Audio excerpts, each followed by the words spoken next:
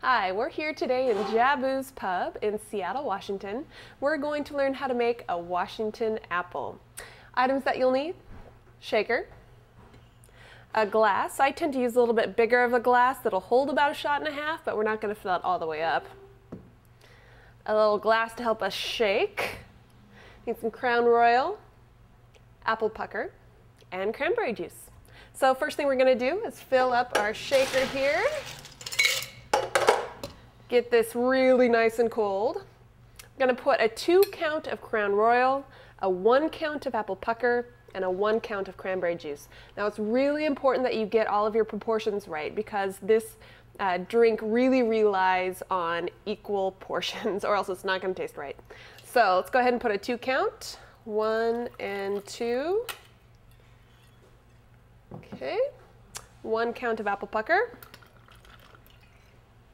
and a one count of cranberry juice. I'm gonna shake this up.